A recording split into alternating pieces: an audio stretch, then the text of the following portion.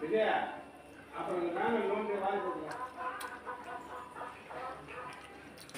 இருக்கியா